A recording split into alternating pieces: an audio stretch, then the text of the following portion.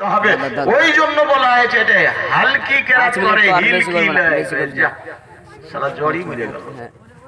হালকিকে হিলকি পড়ে যেমন সে শোনো আল্লাহর কোরআন খুলে দেখো মহান আল্লাহ বলছেন দলিল শুনেন وَإِذَا ضَرَبْتُمْ فِي الْأَرْضِ فَلَيْسَ عَلَيْكُمْ جُنَاحٌ أَن تَقْصُرُوا مِنَ الصَّلَاةِ আল্লাহ পাক বলছেন, হে পৃথিবীর তোমাদের উপরে ফরজ করা হয়েছে। নমাজ পড়বে দুই রকম করে। বলে, দুই রকম কি করে হলো? একটা হলো হাজার আর একটা হলো সফার।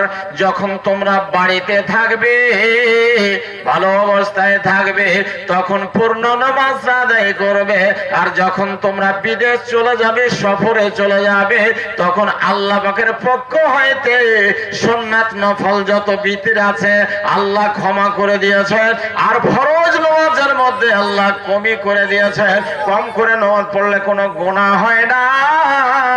সফরের নামাজ কীভাবে পড়তে হবে? তাই মবিজি শিক্ষা দিলে ফজরের দুই রেখাত নামাজ ফরজ আছে, দুই রেখাত পড়তে হবে।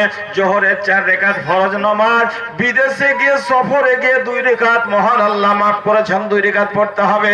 তাহলে দুই আর দুই চার হলো, আসরের নামাজ ফরজ হলো চার রেখাত। দুই রেখাত মহান আল্লাহ মাইনাস করে দিয়েছেন। মুসাফিরের জন্য, তাহলে দুই যদি হয়, তাহলে ছ রেখাত হলো। মাগরিবে তিন তিন রেখাত। ছয় আর তিন নয় হলো ইশারের চার রেখাত নামাজ ফরজ। দুই রেখাত মহান আল্লাহ মানা করে দিয়েছেন। দুই রেখাত পড়তে হবে। নয় আর দুই এগারো হলো না হলো না। মন শীতল পাছা দিক চুলকেছে আসলে আমার থেকে তো আমার স্ত্রীর এই বড় বলবি রে। আমার তো এইসব ফতোয়া জানা ছিল না। এই তো ভালো জানে। আমার ভাইরা আল্লাহ বলছেন, অনুনাজ্জাল মিনাল কোরআন মা হুয়া শিফাউ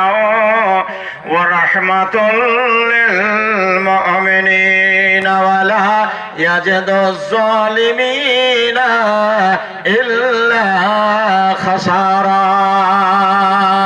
আল্লাহ পাক বলছেন যে, কোরআন মাজিদ আমি অবতীর্ণ করেছি, নাজিল করেছি, তার মধ্যে ওষুধ আছে, আর সারা মুমিনদের জন্য শান্তি রয়েছে। যদি কোরআনের প্রতি আমাদের আমল থাকে। পৃথিবীতে সব থেকে খারাপ জায়গা কোনটা? বলতে পারবেন আল্লাহ রসুল সাল্লাহ সাল্লাম বলেন, পৃথিবীতে সব থেকে খারাপ জায়গা হলো বাজার। সব থেকে খারাপ জায়গা হলো বাজার। এখানে ধোকাবাজি হয়, চুরি হয় বেমানি হয়। মিথ্যা কথা বলে এক অপরের গিবত করে, চুগল খড়ি করে। দোকানে চায়ের দোকানে বসে কোনোদিন মানুষ ভালো কথা বলে না। ও কেমন রে? অমুক হাজি কেমন? বাপরে ই লাগছে সাত দেওয়ার দেওয়া তো দে। সালা কেঁচা কোথায় লোকের খালি দুর্নাম করছে, নিজের কথাটা বলা। বোরা জো দেখান চালা মে বোরা জো দেখান মে চালা বোরা না মিলিয়া কয় জো দিল খোজা আপনা মুসা বোরা না কয় নিজে দেখেন যে আমি কেমন খালি লোকের অন্যায় খুঁজলে হবে না। বুঝতে পেরেছেন? এই জন্য আল্লাহ পাকের নবী বলে দিলেন সব থেকে খারাপ জায়গা হলো বাজার, আর সব থেকে আল্লাহ তালার নিকটে ভালো জায়গা হলো মসজিদ। মসজিদ হল ইবাদতের ঘর। প্রিয়নবী জনাবি মোহাম্মদ রাসূলুল্লাহ সাল্লাল্লাহু সাল্লাম বসে আছেন। একজন সাহাবী চলে আসলেন, আসার পরে বলছেন, ইয়া রাসূলুল্লাহ, আমি একজন গরিব ঘরের ছেলে। আমার মা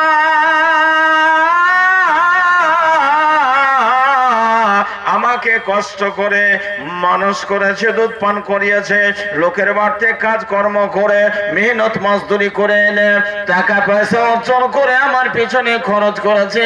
আমি সফরে বিদেশে চলে গেলাম খাটার জন্য। নাবিকা আমার মা অসুখে পড়ে গেল, বিছানায় পড়ে গেল। ডাক্তার কবিরাজ ওঝা দেখে গেল, মা আরোগ্য হলো না।